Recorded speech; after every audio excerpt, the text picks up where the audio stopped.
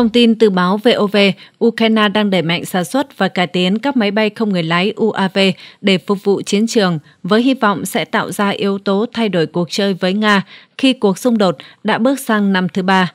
Sau cuộc gặp với Bộ trưởng Quốc phòng Mỹ Lloyd Austin tuần này, Tổng thống Ukraine Volodymyr Zelensky cho biết Washington đang chuẩn bị gói tài trợ 800 triệu đô la Mỹ để sản xuất máy bay không người lái của Ukraine.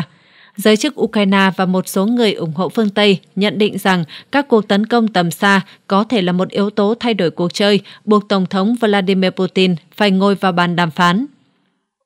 Trong 3 tháng qua, Ukraine đã nhiều lần điều động các phi đội máy bay không người lái UAV vượt hàng trăm cây số vào lãnh thổ Nga để tấn công các cơ sở lưu trữ tên lửa, kho nhiên liệu chiến lược, sân bay quân sự và nhà máy quốc phòng của nước này. Tại một số thời điểm, có tới 150 UAV tham gia vào cuộc tấn công. Cho đến nay, các cuộc tấn công tầm xa của Ukraine đã vươn tới tận bờ biển Bắc Cực của Nga ở phía Bắc và các khu vực giáp biên giới Kazakhstan ở phía Đông. Đa số các UAV tham chiến đều được sản xuất trong nước và được cải tiến để phù hợp với tình hình thực địa. Ngoài máy bay không người lái, Kiev cũng đã nhắm mục tiêu vào Nga bằng tên lửa hành trình Neptune do chính nước này sản xuất, mặc dù với số lượng ít hơn nhiều. Tổng thống Zelensky gần đây tuyên bố rằng Kiev đã phát triển tên lửa đạn đạo nhưng có vẻ như chúng vẫn chưa được tung ra chiến trường. Trong khi đã bật đèn xanh cho phép Ukraine tấn công các mục tiêu sát biên giới Nga với mục đích tự vệ, Mỹ và các đồng minh phương Tây vẫn nhiều lần từ chối yêu cầu từ phía Kiev về việc mở rộng phạm vi sử dụng vũ khí viện trợ, chẳng hạn như là không kích vào sân bay quân sự của Moscow bằng tên lửa ATACMS hoặc là Storm Shadow. Bộ trưởng Quốc phòng Mỹ Lloyd Austin trong một cuộc phỏng vấn với Fox News tuần này cho biết các cuộc tấn công ATACMS bên trong nước Nga sẽ không thay đổi được tiến trình của cuộc chiến vì Nga đã di chuyển máy bay phóng bom lượn ra khỏi tầm bắn của những tên lửa này. Thay vào đó, ông Austin ca ngợi khả năng cải tiến và sử dụng máy bay không người lái có hiệu quả cao trong chiến đấu của Ukraine. Mặc dù không thể so sánh với ATACMS hay là SOM Shadow về tốc độ và hỏa lực, vũ khí tầm xa của Ukraine đã liên tục được cải tiến nhằm mở rộng phạm vi triển khai tăng cường hiệu quả tấn công chuyển từ công dụng tung hỏa mù sang thực hiện các đòn bẩy chiến lược trên chiến trường. Đây là một sự thay đổi lớn so với năm đầu tiên của cuộc chiến khi Nga tấn công các mục tiêu quân sự trên khắp Ukraine bằng máy bay không người lái và tên lửa mà gần như không phải chịu phản ứng đáng kể nào từ Kiev. Ông Mykola Bilesko, một thành viên của Viện Nghiên cứu Chiến lược Quốc gia tại Ukraine cho biết, khi chỉ riêng Nga có khả năng tấn công sâu vào cơ sở hạ tầng hậu cần và quân sự, trong khi Ukraine chỉ giới hạn ở việc tấn công các mục tiêu tiền tuyến, thì điều đó rõ ràng là bất lợi cho Kiev. Vì vậy, Kiev buộc phải thay đổi để giành được thế chủ động. Thông tin từ báo Dân Trí, Tổng thống Nga Vladimir Putin cho biết lực lượng Moscow đang tấn công và chiếm ưu thế trên toàn chiến tuyến Ukraine. Tổng thống Putin trả lời phỏng vấn trong chương trình 60 Minutes phát sóng trên kênh Russia 1 ngày 25 tháng 10. Các hoạt động tấn công của Nga có đang được tiến hành dọc theo toàn bộ chiến tuyến không? Vâng, điều này hoàn toàn đúng. Cường độ tấn công ở mỗi khu vực không giống nhau. Ví dụ, cường độ thấp hơn ở hướng Khê Sân vì tiền tuyến ở đó ổn định, mặc dù vẫn có những thay đổi nhất định. Mọi chuyển biến đều có lợi cho quân đội Nga. Ông Putin khẳng định lực lượng Nga đang hoạt động theo mọi hướng ở tiền tuyến Ukraine. Ông nói, ở các nhóm quân phía Nam và phía Đông, các binh sĩ đang chiến đấu, tích lũy kinh nghiệm và kỹ năng sử dụng thiết bị hiện đại, cũng như phản ứng nhanh khi đối phương sử dụng cùng thiết bị. Chủ nhân Điện Kremlin cho biết thêm, kinh nghiệm thu được và tiềm năng ngày càng tăng của ngành công nghiệp quốc phòng Nga, bao gồm cả những đổi mới đang được phát triển theo sáng kiến riêng, cũng tạo điều kiện thuận lợi cho quân đội Nga tiến công. Tổng thống Putin nhấn mạnh, nhìn chung, quân đội Nga đang đạt được tiến bộ trên khắp chiến tuyến kéo dài, trong khi Kiev không đạt được gì, song cả Kiev và các nước phương Tây đều không sẵn sàng chấm dứt chiến sự. Đề cập đến chiến dịch của Ukraine tấn công vào tỉnh Kut, Tổng thống Putin nói khoảng 2.000 binh sĩ trong các đơn vị của Kiev đã bị bao vây, cô lập và dường như không biết tình hình của họ tồi tệ đến mức nào. Ông Putin cho hay, chúng tôi nhận thấy rằng những người bị bao vây thậm chí còn không biết rõ rằng họ đang bị bao vây. Theo thông tin mà chúng tôi có được, nguyên nhân là do khả năng chỉ huy và kiểm soát ổn định lực lượng quân sự của Ukraine đã không còn.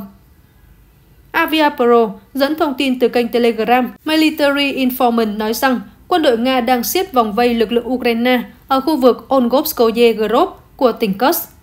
Quân đội Ukraine bị bao vây sau khi mất kiểm soát đường cao tốc 38K030 nối Rinska với Korenevo và Sutja, tuyến tiếp viện binh sĩ và đạn dược chính. Kết quả là binh sĩ Ukraine tập trung trong một khu rừng, bị cô lập và cũng không thể rút lui. Nỗ lực của Ukraine nhằm giải vây cho các đơn vị của mình gặp trở ngại khi Nga kiểm soát hỏa lực khu vực này. Kiev hiện chưa bình luận về thông tin trên. Trong khi đó, cơ quan tình báo quân sự Ukraine cáo buộc các đơn vị quân sự của Triều Tiên được huấn luyện tại Nga đã được triển khai đến Kursk. Theo nguồn tin này, khoảng 12.000 quân nhân Triều Tiên, trong đó có 500 sĩ quan, 3 tướng lĩnh, đã có mặt tại Nga và tham gia huấn luyện tại 5 căn cứ.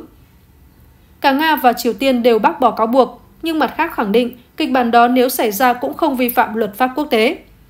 Thứ trưởng Ngoại giao Triều Tiên phụ trách các vấn đề về Nga, Kim Jong-il cho biết ngày 25 tháng 10, nếu thực sự xảy ra điều mà truyền thông quốc tế đang nói đến, tôi nghĩ đó sẽ là hành động tuân thủ các quy định của luật pháp quốc tế.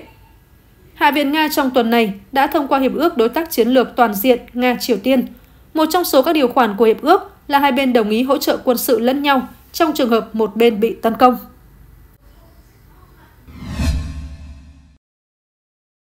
Báo Dân chí đưa tin, trong thông báo cập nhật tình hình giao tranh ở Kursk hôm 25 tháng 10, Bộ Quốc phòng Nga cho biết lực lượng Moscow đã tấn công vào các nhóm quân nhân và thiết bị của Ukraine ở Kursk, khiến đối phương tổn thất hơn 300 người và 4 binh lính Ukraine đầu hàng trong ngày qua.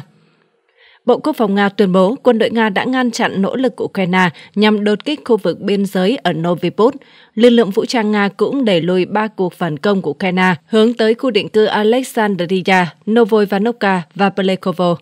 Nhóm tác chiến phía Bắc của Nga tiếp tục hoạt động tấn công ở Kursk, đánh bại các đơn vị Ukraine ở các khu định cư Darino, Zelenislyak, Nikniklin, Novoivanovka và Plekovo.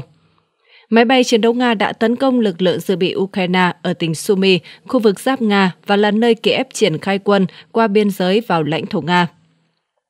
Theo thống kê của Bộ Quốc phòng Nga, kể từ khi bắt đầu giao tranh ở Kursk, Ukraine đã mất hơn 26.550 quân nhân, 177 xe tăng, 93 xe chiến đấu bộ binh, 105 xe bọc thép chở quân, 1.003 xe chiến đấu bọc thép, 686 phương tiện, 229 khẩu pháo, 38 hệ thống pháo phóng loạt MLRS, bao gồm 9 hệ thống HIMARS và 6 hệ thống MLRS do Mỹ sản xuất.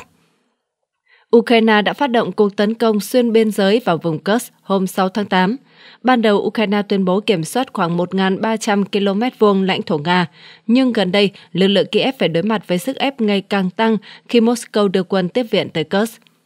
Tổng tư lệnh quân đội Ukraine Oleksandr Sisky tuyên bố quân đội Ukraine tiếp tục các hoạt động tích cực theo hướng Kursk, phá hủy tiềm năng chiến đấu của đối phương trong tháng thứ ba liên tiếp. Tổng thống Nga Vladimir Putin vào ngày 25 tháng 10 nói rằng các đơn vị quân đội Ukraine tại Kursk dường như không nhận thức được tình hình nghiêm trọng ở mặt trận này. Ông Putin tuyên bố có tới 2.000 quân Ukraine đã bị bao vây trên lãnh thổ Nga. Ông chủ điện Kremlin nói, chúng tôi thấy rằng những người bị bao vây hoàn toàn không nhận thức được rằng họ đang bị bao vây. Tình báo Nga cho rằng năng lực chỉ huy và kiểm soát ổn định của quân đội đối phương đã bị mất. Tổng thống Putin cho rằng lực lượng Ukraine đã cố gắng đột phá nhưng không thành công. Theo ông Putin, quân đội Nga đang đạt được tiến triển trên khắp tiền tuyến xung đột, trong khi Kiev không đạt được bất kỳ tiến triển nào. Ông Putin nhấn mạnh cả Ukraine và các nước phương Tây đều không muốn chấm dứt giao tranh, vì vậy quân đội Nga phải tập trung vào nhiệm vụ. Ukraine đã mở chiến dịch đột kích vào vùng Kursk của Nga từ đầu tháng 8 với mục tiêu buộc Moscow phải chuyển lực lượng từ Donbass về Kursk để bảo vệ lãnh thổ. Tuy nhiên, mục tiêu này của Kiev dường như là không thành công khi Nga vẫn tiếp tục tiến công mạnh ở Donbass trong những tuần qua. Thiếu tướng Abdi Alaudinov, Phó Tổng cục trưởng Tổng cục Quân sự Chính trị của lực lượng vũ trang Nga, chỉ huy lực lượng đặc nhiệm Akhmat cũng tuyên bố Moscow đã giành lại một nửa lãnh thổ ở Kursk mà Ukraine kiểm soát từ ngày 6 tháng 8 tới nay. Theo ông Alaudinov, các cuộc tấn công của Nga ở Kursk trong thời gian qua đã buộc Ukraine phải rút quân ở nhiều khu vực. Thông tin từ báo tin tức thông tấn xã Việt Nam, theo bản đồ về tình hình xung đột mới nhất, Viện Nghiên cứu Chiến tranh ISW có trụ sở tại Mỹ cho biết quân đội Nga đã đạt được những thành quả đáng kể ở Selidove, thị trấn tiền tuyến Donetsk trong những ngày gần đây. Các cảnh quay định vị địa lý từ ngày 22 đến ngày 23 tháng 10 cho thấy quân đội Nga tiến vào phía đông bắc thị trấn cùng các thành viên của Lữ đoàn Súng trường cơ giới số 114 của Nga trong khu vực – Bản đồ ISW cho thấy một số thành quả của Moscow trong khu vực từ cả nguồn tin của Ukraine và Nga, bao gồm việc kiểm soát các thị trấn Imailivka, Krasnaya và Hrodivka trong tuần này. Blogger quân sự người Nga Tomazos đã đăng tải video trên Telegram cho thấy các binh sĩ thuộc Trung đoàn súng trường cơ giới cờ đỏ 433 trên nóc một tòa nhà, một trong số họ đang cầm cờ Nga. Bài đăng cho biết, đồng thời nói thêm rằng quân đội Nga đang di chuyển về phía Tây. Bằng hành động quyết đoán, quân đội của chúng tôi đã phá vỡ hàng phòng ngự của lực lượng vũ trang Ukraine ở trung tâm thành phố. Tuy nhiên, ISW cho rằng việc Moscow tập trung lực lượng ở Selidove đã gây tổn hại đến nỗ lực tấn công Pokrovsk, trung tâm chiến lược và là mục tiêu hoạt động của Nga tại khu vực mặt trận này. ISW cho biết việc Nga tiến vào Selidove cũng như là thị trấn phía nam và phía bắc thị trấn này có thể sớm khiến quân đội Ukraine phải rút lui để tránh bị mắc kẹt. Tuy nhiên, giới chức cho rằng ngay cả khi giành được thị trấn này trong những ngày tới, không có nghĩa là Nga sẽ kiểm soát được Pokrovsk. Báo cáo cho biết thêm rằng việc giành quyền kiểm soát Selidove sẽ khiến lực lượng Nga kiệt sức và lực lượng này sẽ suy yếu nếu được lệnh chuyển hướng về Pokrovsk. Nhà quan sát quân sự Ukraine Konstantin Masovets nhận định trên Telegram rằng trong khi một số lượng lớn quân đội Nga cam kết tham gia mặt trận Pokrovsk thì các lực lượng này lại xa lầy trong các cuộc tấn công vào Selidove. Một nhà báo quân sự nổi tiếng của Nga cũng đồng tình với phân tích này, đồng thời nói rằng nỗ lực giành Pokrovsk của Moscow đang bị trì hoãn. Trong khi đó, vào ngày 24 tháng 10, Bộ Tổng tham mưu lực lượng vũ trang Ukraine cho biết các lực lượng của nước này đã đẩy lùi 38 cuộc tấn công của Nga vào mặt trận Pokrovsk và 148 cuộc giao tranh đã diễn ra trong ngày qua. Trong một bài đăng trên Facebook, quân đội Ukraine cho biết tình hình trên chiến trường vẫn còn khó khăn. Đối phương đang tận dụng lợi thế về nhân lực và trang thiết bị để tấn công liên tục vào các vị trí của chúng tôi. Trang tin Ukrainska Pravda dẫn nguồn quân đội Ukraine cho hay quân phòng thủ Ukraine đang kiên trì chống lại áp lực của Nga và gây ra tổn thất đáng kể cho đối phương. Về phần mình, Bộ Quốc phòng Nga cùng ngày đưa tin lực lượng Nga đã tấn công các sân bay quân sự của Ukraine và gây thiệt hại cho nhân lực và thiết bị quân sự của đối phương tại 139 khu vực trong ngày qua trong chiến dịch quân sự đặc biệt tại Ukraine. Bộ tuyên bố máy bay tác chiến chiến thuật, thiết bị bay không người lái tấn công, lực lượng tên lửa và pháo binh của các nhóm lực lượng Nga đã tấn công cơ sở hạ tầng sân bay và tập trung nhân lực và thiết bị quân sự của đối phương tại 139 địa điểm.